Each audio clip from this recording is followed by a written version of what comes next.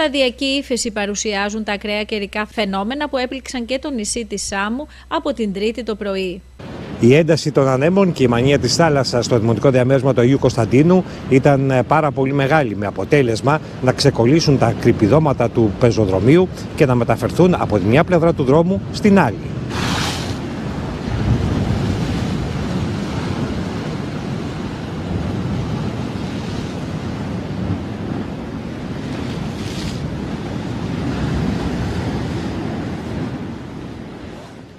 Η νύχτα ήταν αρκετά δύσκολη, όπως δήλωσε ο προϊστάμενος του Τμήματος Πολιτικής Προστασίας, Αλέξανδρος Στατούρης. Το μεγαλύτερό μας πρόβλημα ήταν εκεί στον Άγιο Κωνσταντινό, που η κατάσταση ήταν πάρα πολύ επικίνδυνο. Πάρα πολύ επικίνδυνη.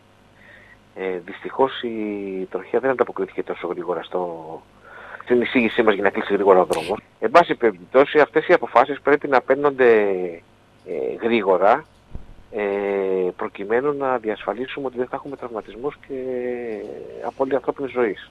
Καταπτώσεις δέντρων αλλά και αποκολλήσεις τμήματων από οροφές ήταν τα κυριότερα προβλήματα, τα οποία όμως αντιμετωπίστηκαν άμεσα χωρίς να κινδυνεύσει η ανθρώπινη ζωή. Πρέπει να είμαστε πιο άμεσοι και πιο ταχείς όταν έχουμε τέτοιες καταστάσεις.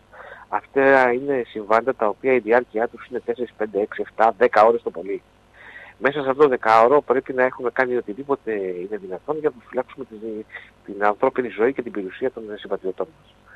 Από το πρωί της Τετάρτης δόθηκε εξάλλου σε κυκλοφορία και η Εθνική Οδός Σάμο Καρλοβάσου, καθώς τα φαινόμενα υποχώρησαν και έτσι κρίθηκε ότι δεν κινδυνεύουν πλέον οι οδηγοί των διερχόμενων αυτοκινήτων. Βρισκόμαστε στο δημοτικό διαμέρισμα του Αγίου Κωνσταντίνου. Πριν από λίγα λεπτά, τα μηχανήματα της ε, Περιφερειακής Ενότητας ε, ΣΑΜΟΥ ολοκλήρωσαν την διάνοιξη του δρόμου και έτσι πλέον η κυκλοφορία έχει αποκατασταθεί στο παραλιακό μέρος του οικισμού, ο οποίος για άλλη μια φορά μετά από μια κακοκαιρία μοιάζει σαν να είναι βομβαρδισμένος.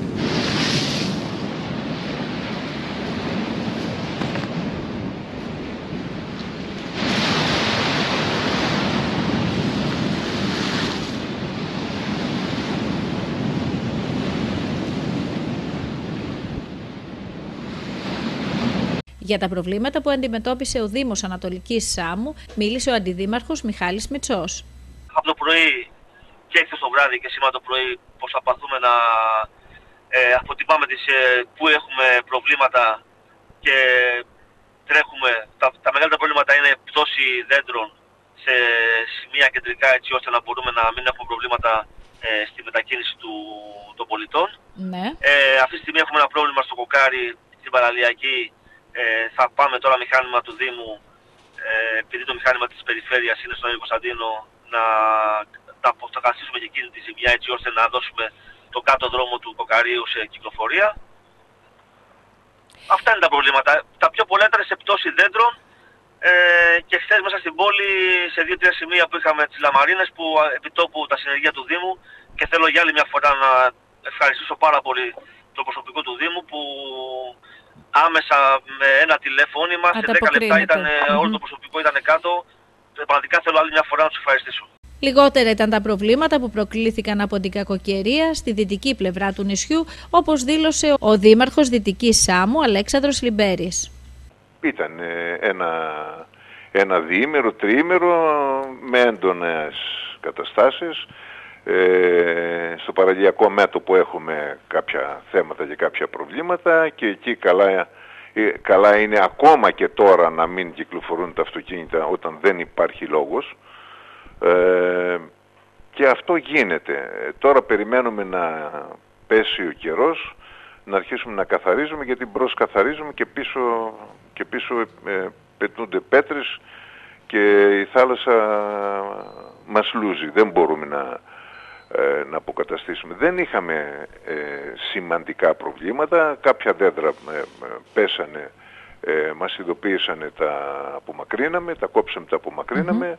Στα ορεινά σήμερα έχουμε λίγο πάγο στον πλάτανο, ειδικά στον πλάτανο και στους κοσμαδέους. Στείλαμε να ρίξουν αλάτι με το χέρι, δηλαδή όχι ναι, με ναι, ναι. πολλά πράγματα. Ε, Κλείσαμε τα σχολεία και εμείς δυο μέρες και το πήγαμε μέρα-μέρα για να βλέπουμε τι γίνεται. Πιστεύω ότι αύριο δεν θα έχουν πρόβλημα και τα σχολεία θα λειτουργήσουν κανονικά. Δεν είχαμε ιδιαίτερα προβλήματα. Στο έλεος του καιρού και η περιοχή του Κοκαρίου, όπου ο φάρος έχει αποκολληθεί εντελώς και έχει καταστραφεί το μικρό λιμάνι. Στο δημοτικό διαμέρισμα του Κοκαρίου, η ένταση των ανέμων και η μανία της θάλασσας μετέτρεψε τον δρόμο σε παραλία.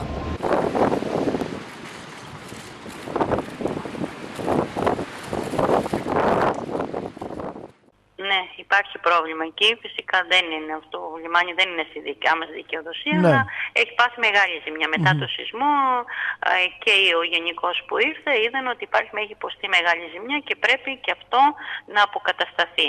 Ο σεισμός είχε κάνει τη ζημιά και από εκεί και ύστερα βρήκε τώρα το, και η διείσδυση και το νερό και δημιούργησε αυτά τα προβλήματα.